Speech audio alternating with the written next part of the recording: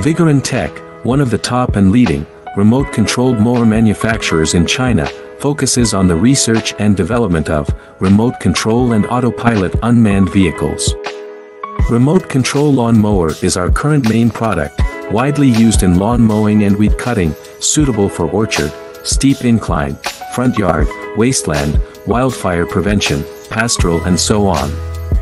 The wireless radio control electric slope mower adopts CE and EPA approved gasoline engine, 200 meters long distance remote control, adjustable cutting height, travel speeds up to 6 kilometers per hour.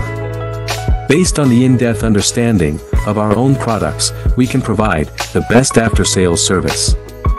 We are looking for distributors and dealers all over the world. You are always welcome to contact us with any question.